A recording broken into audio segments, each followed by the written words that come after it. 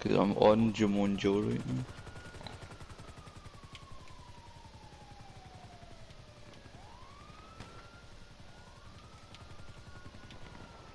Suppressor just gonna leave me alone? Like, where do you go?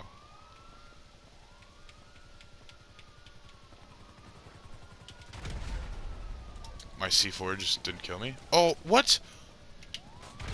Did you... Bro.